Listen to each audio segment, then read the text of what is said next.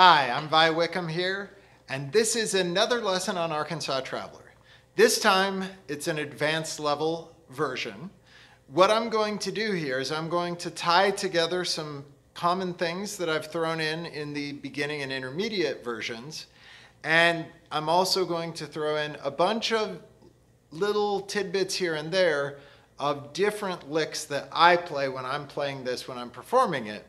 Um, so you'll hear things, and I may, I'm almost certainly not going to play it the same twice in a row, but we'll give you sheet music to this that gives you one of the ways you can play it. But I highly encourage you, because you're an advanced player, don't learn it exactly how I played it.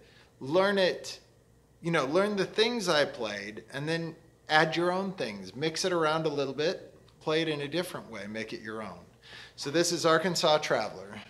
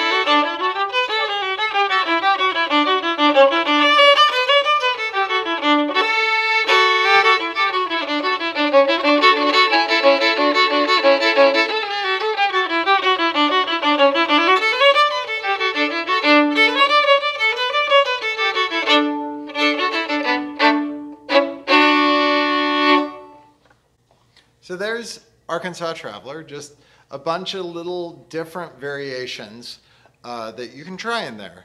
I'll play it for you slowly so you can hear some of those variations slowed down, um, but I'm not really going to